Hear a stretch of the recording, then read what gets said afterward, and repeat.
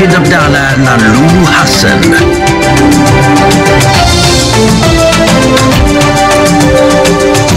Naam, ahlan wasahlan wa marhaba, mpenzi mtazamaji, wakubwa shikamoni na wadogo hamjambo, karibu kwenye Nipashe Wikendi. Nafahamika kama Lulu Hassan na haya ndiyo yaliyo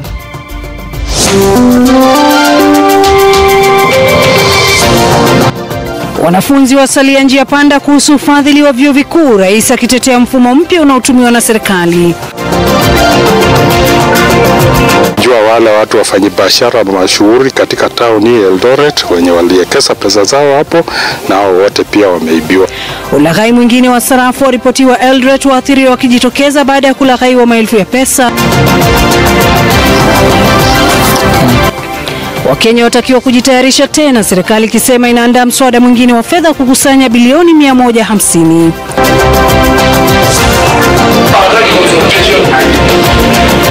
Zaza anazogo kanisani Eldoret kwenye mzozo wa uongozi baada pia ikitatizwa na vijana kutoka kaunti ya Nyeri.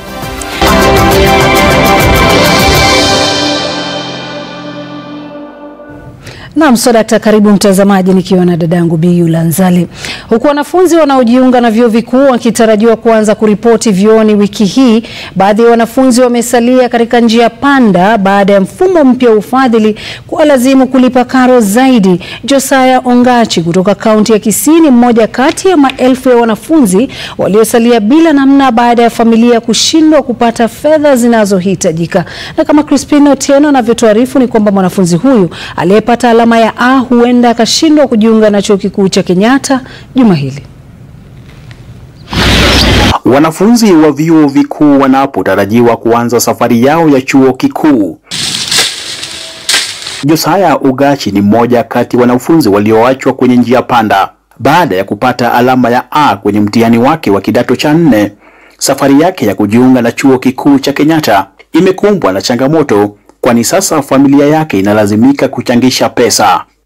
I did my KCSE last year, got an A plane, and I was I was placed uh, in Kenyatta University pursuing a course in computer science. Kufuatia mfumo mpya wa elimu uliomweka Josaya kwenye kundi la tatu, sasa atalazimika kupita shilingi elfu sitini na moja. Hali hii ikiwa kitendawili kutokana na uwezo wa familia hii wa mapato ya shilingi mia moja na hamsini ya kazi ya kibarua cha kulima kwa siku. Hata huyu kijana hatujawahi kumletea result slip kwa sababu ya clearance expenses ambazo zina amount up to 5000 ambazo tungestahili kuchukua huko. ninaweza enda kibarua kwa shamba la mtu nafanya nalima hapo, ama nifanye kazi fulani nipate mapato kidogo ya kuwezesha hao watoto wakule. So mapato yangu ni kidogo. Kijana Josaya anapotarajiwa kufika chuoni siku ya Jumatano, hii inaonekana kuwa changamoto kwa sasa. Kwa sasa Josaya amesalia kwenye njia panda It becomes quite difficult, and uh, it's almost becoming another case of poverty killing destiny. So any well-wisher out there uh, who is willing to support me, I'll be very very grateful. kama maelfu ya vijana wengi ambao wametatizika na mfumo huu wa elimu ya pili. Nam, hii ikiwa ndiyo taswira kamili katika boma hili, kwani mwanafunzi aliyetia fora katika mtihani wa kitaifa na kupata alama ya A huenda akakosa nafasi ya kujiunga na chuo kikuu cha Kenyatta kutokana na lindi la umaskini hapa. Crispin Otieno, runinga ya Citizen, Bomachoge Chache, kaunti ya Kisii. Na mtazamaji, wakati huo huo, Rais William Ruto ametetea mfumo wa ufadhili wa elimu ya juu huku sasa akisema kwamba wizara ya elimu itaongeza ufadhili wa elimu na mikopo kwa wanafunzi wasiojiweza. Rais akisema kwamba mabadiliko ya mfumo huu wa elimu ni muhimu ili kuhakikisha wanafunzi wasiojiweza wanamudu kupata elimu. Matamshi ya rais yakijiri wakati ambapo hisia zimeendelea kuhusiana na mfumo mpya wa ufadhili wa elimu kwa kuzingatia mtazamo wa kimapato. Rais alikuwa akizungumza wakati wa hafla ya kufuzu kwa wanafunzi wa chuo kikuu cha Eastern Africa Baraton, kaunti ya Nandi. We need a funding model that is not focused on the university, but focused on the student. A funding model that will not leave any child in Kenya behind. A funding model that recognizes that there are children from vulnerable families. I don't think it is correct for all of us to assume that we are all the same and that students from vulnerable families don't need affirmative action. They do. And that is why, in this new model, we are increasing scholarship and loan for students from vulnerable families from 80% to 95%. I am persuaded that it is the right thing to do. Na mtazamaji, serikali sasa inaandaa mswada mwingine wa fedha utakaokusanya takriban shilingi bilioni 150 kujaza mapengo yaliyoachwa baada ya kuangushwa kwa mswada wa fedha wa mwaka wa 2024. Waziri wa fedha John Mbadi sasa anasema kwamba mapendekezo hayo yatahusisha kurejeshwa kwa pendekezo tata la ushuru wa mazingira utakaozuia uagizaji wa bidhaa kutoka ughaibuni, na kama anavyoarifu Emmanuel Tony kwamba serikali inasema imelazimika kutafuta fedha zaidi kuwalipa walimu na kufadhili masomo ya vyuo vikuu humu nchini. Baadhi ya mapendekezo hayo yaliyokuwa ndani ya mswada wa fedha tatu wa mwaka 2024 sasa yanafanyiwa ukarabati wa dakika za lala salama kabla ya kurejeshwa tena bungeni. Waziri wa fedha John Mbadi ameiambia runinga ya Citizen kwamba tayari kuna takriban vipengee hamsini ambavyo vinaandaliwa na wizara yake. and they brought about 53 suggested amendments. And these 53 have now been reduced after my discussion with them to about 49. Miongoni mwa mapendekezo hayo ni pendekezo tata la kuzuia uagizaji wa bidhaa maarufu iko levi ambayo serikali inasema lazima ipite ili kuimarisha viwanda nchini. Eco levy has some uh, meaning, so we will just make sure that they are levied on those items which pollute the environment. Issues that are contentious, like sanitary pads, etc., those will leave out. Sisi kama bunge tunangoja kuona mapendekezo ambayo wao wanafanya kujua ya kwa, kusema ya kwamba basi tunahitaji eh, eh, kiwango hiki cha fedha ambacho tunahitaji kufanyia hivi na basi uh, kama kama executive ama kama serikali kuu wanafikiria kwamba kitatoka mahali fulani. Hapo awali mashirika ya kimataifa yakiwemo Coca-Cola yalipinga mapendekezo hayo ya kuweka ushuru wa asilimia kumi kwa bidhaa za kuagiza.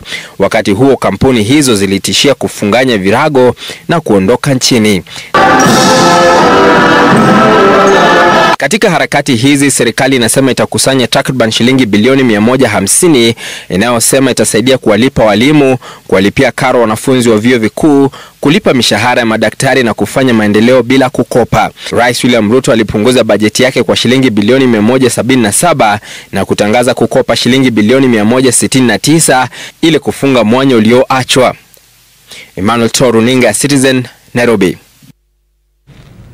Na mtazamaji, wizara ya afya sasa imetoa hakikisho kwamba ni kisa kimoja tu cha ugonjwa wa mpox kilichothibitishwa humu nchini. Katibu wa afya Mary Mudhoni akisema kwamba licha ya watu wengine wawili kuonyesha dalili za ugonjwa huo, sampuli zao bado hazijathibitishwa endapo wameambukizwa ugonjwa huo au la. Haya najiri huku maafisa wa afya wakiendeleza uchunguzi katika mipaka mbalimbali ili kuzuia kuenea, kumradhi kwa ugonjwa huu kama Laura Otieno anavyotueleza. Wiki tatu baada ya kisa cha kwanza cha ugonjwa wa mpox kuripotiwa nchini, taswira katika mipaka mbalimbali ni kama hii. Wasafiri kutoka nchi jirani ya Uganda walifanyiwa uchunguzi wa kupimwa joto mwilini na baadaye kuosha mikono kama mojawapo ya njia za kudhibiti kuenea kwa ugonjwa huo.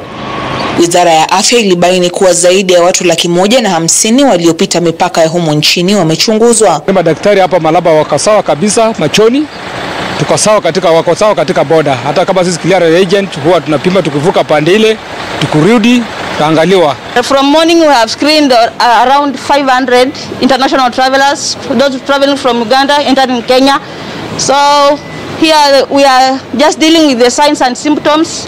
First of all, we can, we, if somebody is presenting with high, high temperature, or uh, presenting with skin rash. Katibu wa afya Mary Modhoni alitupilia mbali madai ya ongezeko la wanaougua ugonjwa wa mpox nchini huku akitoa wito kwa wadau mbalimbali kutoa mafunzo yafaayo kuhusu ugonjwa huu. We don't have any other confirmed mpox case unless the one that we talked about, the 42 year old male. Until when the ministry communicates and states that we have an, another mpox case, please let us not start circulating rumors. Let us stop circulating information. If you are suspected, you are not confirmed. You could be having chickenpox or any other disease. Right now tunaomba mwendelee kunawa mikono, kutumia sabuni na wale wanapatikana nayo usiseme huyu ni wetu, wacha tumfungie blanketi. Ndio waonyeshe mapenzi, lakini they must be isolated ili isishike kijiji mzima, hospitali zetu zijae kuliko vile zinafaa kukua. Wiki iliyopita shirika la afya duniani WHO lilitoa tahadhari ya kusambaa kwa ugonjwa wa mpox na kuyarai mataifa mbalimbali kuweka mikakati ya kuzuia mlipuko. Laura Otieno, runinga ya Citizen. Naam, tuelekee Eldoret mtazamaji, ambapo ibada katika kanisa la AIC Kao la Amani jijini Eldoret ilikosa kufanyika baada ya makundi mawili ya waumini wa kanisa hilo kuzozana. Uhasama kati ya makundi haya umeripotiwa kuanza kufuatia mzozo wa uchaguzi wa viongozi wa kanisa hilo. Haya yanajiri huku ibada nyingine katika kanisa la PCEA Kiamwadhi, kaunti ya Nyeri, pia ikitatizwa na kuchelewa kuanza baada ya vijana kulifunga wakilalamikia kufurushwa kwa mhubiri mkuu kama Umwangi anaarifu. Ndivyo hali ilivyokuwa katika kanisa la AIC Kao la Amani jijini Eldoret, kundi la waumini wa kanisa hili wakishiriki ibada nje ya kanisa hilo baada ya makundi mawili kutofautiana kuhusu uongozi. Inasemekana uhasama kati ya waumini wa kanisa hili ulianza wakati uchaguzi ulipofanywa na viongozi waliong'atuliwa wakadinda kuondoka. Waliofika hapa wameapa kuwa kanisa hilo litasalia kufungwa. Chuki imepandwa ndani ya kanisa na kugawanywa. Uh, watu wengine wanafinyiliwa sana sana sana, members wale walikuwa wasamani, wale walikuwa walijenga kanisa. Hatuna nafasi ya kusema, hatuna usemi kanisani. Wageni ndio wanataka kutunyanyasa. Walifanya, tulifanya election we, our, the, the winners wakakuwa waka nullified na haikukuwa na makosa yoyote, lakini baadaye wakakuja wakafanya election nyingine na wakalalia upande mmoja. Tumekuwa tukiomba sana tupewe dialogue, lakini imekuwa ngumu sana. Katika kaunti ya Nyeri, ibada katika kanisa la PCEA Kiamwathi ilikosa kuanza kwa zaidi ya saa sita baada ya vijana kutoka makanisa saba yanayounda parokia ya Nyeri Joy kufunga kanisa hili. Vijana hawa wa rika la Gen Z waliteta uamuzi wa wazee wa kanisa hili wa kumng'atua mchungaji Lucy Keriongi ambaye wanasema ameiongoza parokia hii inavyopaswa. Alikuwa anaambiwa ati hatu, hatupatii Holy Communion ambayo tunaamini ya kwamba sisi tumekuwa tukifuatana na tena tunasikia anaandamaini hao maelders ambao pia wanafaa kujua eh, kanisa ni ya watu wote. Kwa hivyo wakiwa na shida yote na wao na, na, na reverend wetu wanafaa kuyaleta hata kwa members. Ya, kisha na maana imekuwa hata ikifanywa hadharani tukiona, so hatunge pretend that all is well yet it isn't. Iliwabidi maafisa wa polisi kutoka kituo cha Ruring'u kufika hapa kudhibiti hali. na hakuna mtu anaenda, mambo yote yako sawa, yako sawa. Kama Mwangi, runinga ya Citizen. Na mtazamaji, nao waathiriwa wa maandamano dhidi ya serikali wameendelea kusubiria haki huku wengine wakiendelea kuuguza majeraha. Bison Amunga aliyepigwa risasi na polisi alipokuwa akiendesha biashara yake ya maski hapa jijini Nairobi bado anauguza majeraha kwenye mkono wake. Aidha, kwa Brian Mwangi aliyelazwa hospitali ya Kenyatta baada ya kujeruhiwa kwenye maandamano ya nane nane, kwao bado wanasubiri haki kwa dhuluma zilizoelekezwa kwa polisi, kama Willy Lusige anavyotuarifu. Mtaani Umoja jijini Nairobi, Bison Amunga anayeuza barakoa jijini ni mmoja wa majeruhi wa hivi karibuni waliojeruhiwa kwenye maandamano ya nane nane. Anauguza majeraha ya risasi tatu kwenye mkono wake wa kulia. Niliamka asubuhi, siku ilikuwa tu poa, nikaamua kwenda town kuuza mask hiyo area Dedan Kimathi Street. So hapo ndio makarao walitoka from one side wakitupush to the other end. After hapo mimi nikaona watu wanakimbia, mimi sikukimbia, nikasimama na masoja. Polisi walipokutana naye walimwamurisha kulala sakafuni na barakoa zake kabla ya kumfitulia risasi. Nikapelekwa Kenyatta, after x-ray nikapatikana niko na bullet tatu, then nikaadmitiwa nika for 5 days. Kutokana na kulemazwa kwake, atahitaji muda mrefu kabla ya kurejelea majukumu yake ya kujitafutia mkate wa kila siku. Kuishi peke yangu, hakuna mtu ananisaidia. Sasa sasa ime- imebaki, imebidi nimerudi kwa wazazi. Serikali ilisema tutakuwa compensated but sijaona anything, sijaona mtu yoyote, hata hakuna mtu alikuja hospitali kuniona. Amunga ni mmoja kati ya Wakenya ambao wamesalia na majeraha mabaya ya risasi, ila bado hawajapata haki. Kuu taswira ya kilichojiri katika maandamano ya kupinga serikali ikianza kudidimia miongoni mwa Wakenya kwa majeruhi wengi kama Amunga aliopigwa risasi katika barabara hii ya Kimathi, ndo mwanzo safari ya kuishi na makovu hayo inang'oa nanga na kualika maua. Katika hospitali ya kitaifa ya Kenyatta tunakutana na jamaa wa Brian Mwangi anayeomba kutotambuliwa. Tunaomba usaidizi. Mwangi alipigwa risasi wakati wa maandamano ya nane nane Karatina na amekuwa hospitalini Kenyatta kwa zaidi ya siku kumi sasa, risasi aliyopigwa ingali mwilini. na huyo mtoto ako na uchungu sana, na hiyo risasi tumeambiwa imeguza spina, hata amekuwa paralyzed kutoka hapa kwa tubo, hata asikii tubo yake. Tumeambiwa na daktari chances za huyo mtoto kusimama tena ziko 50-50. Familia inasisitiza hakuwepo kwenye maandamano na alipigwa risasi akiwa kazini karibu na kituo cha mafuta. Willy Lusige, runinga ya Citizen. Na mtazamaji, kwa mara nyingine tena taarifa za ulaghai zimegubika jiji jipya la Eldoret ambapo sakata mpya ya uwekezaji wa sarafu imeibuka. Waathiriwa wa punde wakidai kulaghaiwa maelfu ya pesa na kampuni inayoongozwa na askofu wa kidini. Na kama John Wanyama anavyoarifu ni kwamba wakazi wanadai kutia saini mikataba na kampuni ya Delavai La Consult kupata faida za biashara ya sarafu kwa mwaka mmoja, ila sasa wamewachwa wakihangaika. Umekuwa msururu wa kuwapora wakazi wa Uasin Gishu kupitia biashara ya sarafu. Viongozi wa makanisa ndio wamekuwa mstari wa mbele kuwashawishi wafuasi wao kuwekeza, kumbe wanajinufaisha wenyewe. mimi hasa pamoja na my relatives, my immediate family, my wife, my other relatives tumepoteza over 3 million. Nikakusanya wamama tukakusanya 1.8 million tukaweka mahali pale. Hao wamama wengine ni wagonjwa. Watu wengi waliowekeza katika kampuni ya Delavi wamejipata wakikosa lepe la usingizi baada ya kupoteza pesa zao.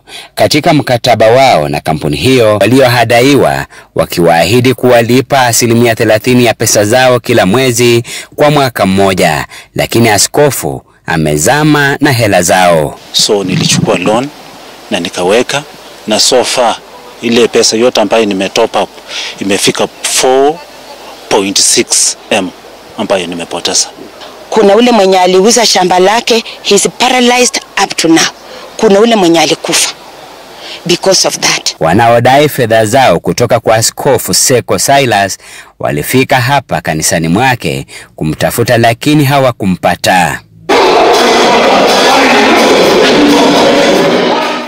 Most of our clients have been paid. If there is a client who has not been paid, we have issues that we are working on and uh, we will resume the payments. Ebi Atema yuko mashakani baada ya kuchukua hati miliki ya shamba la mamake na kuchukua mkopo wa benki na kuwekeza pesa hizo kwa Delavi. It is very painful. I don't sleep. I don't know how to pay these debts. Niliweka pesa mpaka ya mama yangu, nilichukua mpaka title deed ya my mom nikaweka kama security, nikachukua title deed ya my brother in law ili kwamba nipate hii loan. Hizo zote ziko huko. I don't know what will happen, sijui kama wataenda kwa barabara. Si yeye tu, Patrick Wafula amepoteza shilingi milioni 4.5 na sasa hana mbele wala nyuma. Akisema ya kwamba pesa siko safe na pesa siko, lakini malipo hafanyi. na tuko na watoto tuko kwa manyumba za wenyewe, hawa watoto wanastahili wakule. Sakata na sinema ya ulaghai na wizi katika kaunti ya Singisho, hususan jiji hili la Eldoret unaendelea.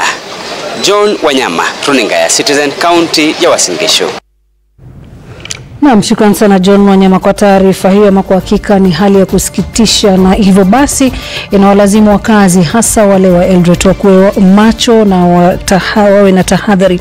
Na mtazamaji, napumzika kidogo, lakini nisome jumbe mbili tatu kuhusiana na taarifa ambazo tumeweza kuzipeperusha. Mmoja hapa anasema tunamwombea mwanafunzi aliyetia bidii, Mungu ampe mhisani na endeleze nyota yake. Eh, mhm. Huyu ni Eunice Githogori kutoka Londiani, na ni vyema pia nimwambie Eunice ni kwamba maombi yake yameweza kujibiwa, kwani kuna jamaa mmoja hapa anasema mngependa sana kumjua mwanafunzi huyo, kwani anataka msaidie kumsomesha chuo kikuu miaka yote. Basi tutaweza kuwasiliana naye baada ya muda usiokuwa mrefu. Tunapumzika kidogo, tutarudi na mengi zaidi, kwa hivyo nakusihi usiende mbali.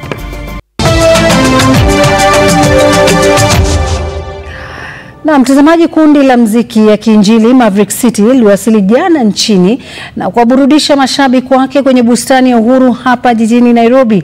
Kundi hilo lilikuwa limeungana na msanii maarufu wa nyimbo za injili Kirk Franklin katika ziara yao ya Afrika. Aidha, wasanii wa humu nchini Bethwel Lasoi na Timothy Kaberia pia walipata fursa ya kuwatumbuiza mashabiki, na kabla ya kuwasili nchini, Maverick City Music walikuwa wamefanya maonyesho Afrika Kusini, Zimbabwe na Uganda. Royal Media ilikuwa mdhamini mkuu wa mawasiliano kwa hafla hiyo na imeahidi kuendelea kuwaletea mashabiki wake burudani zaidi ya burudani. We never give God enough time, and so I felt like this was the perfect day to just come experience Maverick and you know Kirk Franklin, but at the same time give God all glory and honor. We thank Kenyans for turning out in large numbers. We thank them for selling out the tickets, and we thank them for enjoying themselves. And we are promising them to bring even more of uh, this nature of events uh, to them.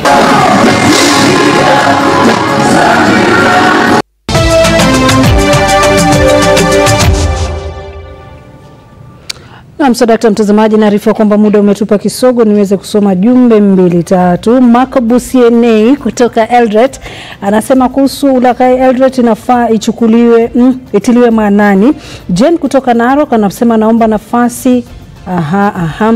Mwingine hapa Mtwiri kutoka Kiagiria anasema Eldoret yatisha kwa kweli kutokana na ile taarifa ya John Wanyama kuhusiana na ulaghai.